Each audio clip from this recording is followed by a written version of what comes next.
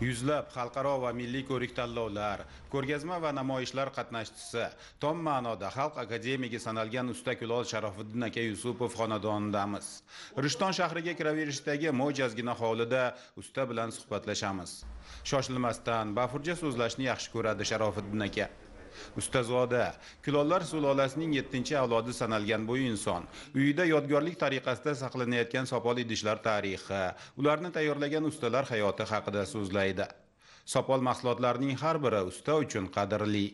Mana shu usta abdullo uyquyam usta abdullohniki keyin usta mazoir usta mayoqub shular shu где то yuz ellik ikki yuz yil atrofidagi ustalar.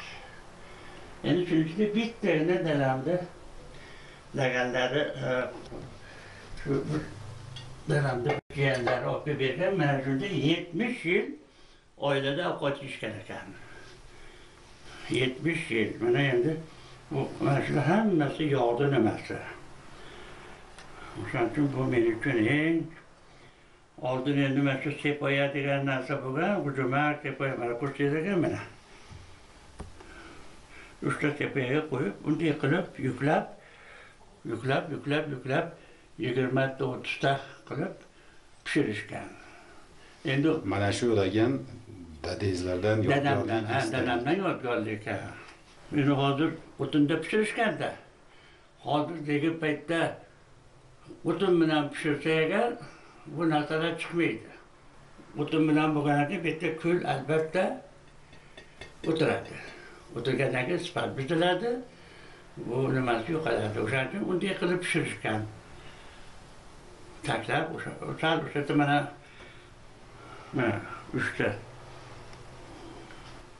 shu uchta narsani qo'yib tepasiga tag'in qo'yib Sepoya. ushlab sepoya hujumak hujumak tavallaganlarga hujumak kasallarga sepoya qilishgan usta shu bahor 77 yoshni qarshiladi aytishicha 15 yoshidan beri loyga mehr berib kulolchilik mahsulotlari tayyorlaydi ularga naqshlar chizadi ish o'rgangan ustazodalar muhrlangan suratlarga qarab o'sha o'tgan asrning 60 yillarini xotirlaydi ular endi shu rishtonni kulolchiligini cho'qqiga chiqargan katta ustalar o'sha rustam kulolchiligi zavodini uydan dovdaskasini olib kelib shu yerda zavodni tashkil qilgan ustalar bular hammasi.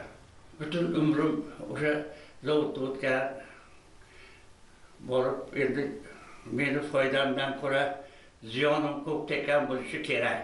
Sababki qo'pollik yoshlik sindirgan bo'lishim kerak. Lekin shu mana hozir ko'zimni oldimdan o'sha ustalar o'tyaptida sizni savolingiz bahona keyin man uni ham ko'rib e, qachon ko'rsam agar bir yig'lagim kelib qoladi. Ishlatadigan yordamchisiga xumdon pishirsa bir beshta oltita kasa berardi. Keyin kasani olib borib e, zommaklarga yo o'ttiz sotsangiz agar bemalol kinoga bilet hammomga kirishga pul bo'lardi. O'sha stimul bor. Mana hozir o'sha o'rtoqlarim astajbay o'rtog'im hozir doktor bo'lib turib kimga shogird bo'lganini piyoda yasashni o'rganganini aytadi boshqasini gapirsangiz agar u ham ha men falonchiga shogird bo'lganman har oy menga o'n beshta yigirmata kasa berardi. Deb gapirishadi hozirda shu hunar shu kulolchilik mahsulotlari sinmasligi uchun munosib sharoitlar yaratilmoqda. Ustaning aytishicha birgina rishtonning o'zida mingdan ziyod usta kulollar yana faoliyat yuritmoqdalar.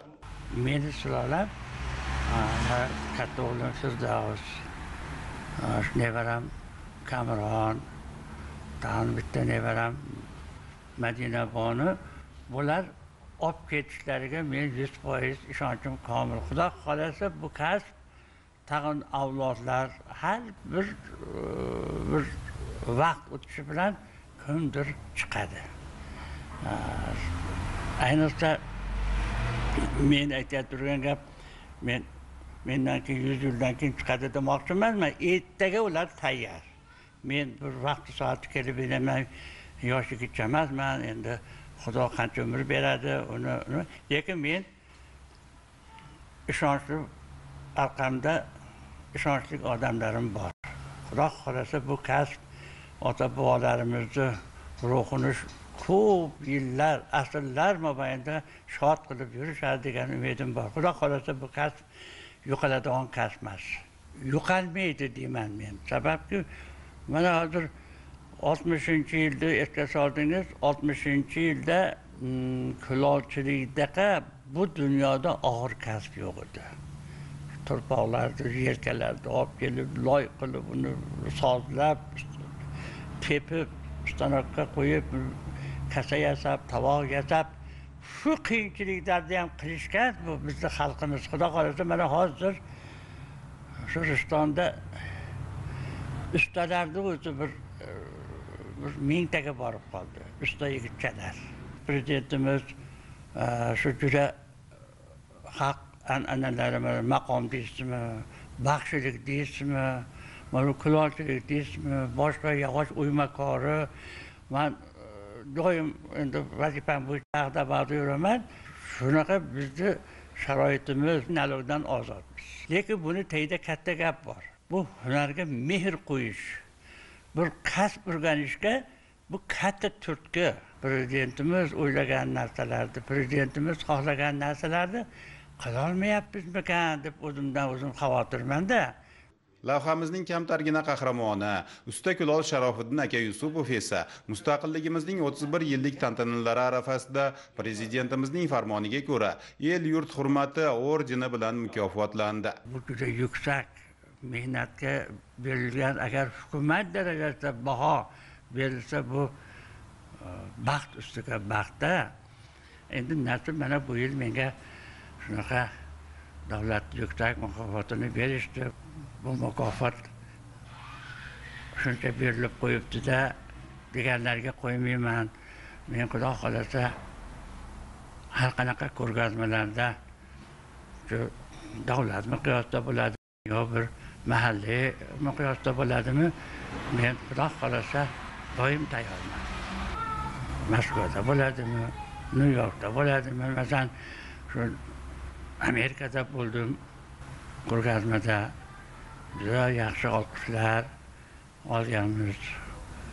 Yaponiyadan o'n to'qqizinchi yili borib o'sha yerda tokioda yaxshi qo'ldan kelganicha mahorat darslarini qilib keyin universitetlarga borib o'sha yerlarda sovg'a salomlar o'zimiz ishimizdan o'sha yerga ham boringki bir e, o'zimizni e, bir hissamizni qo'shdik.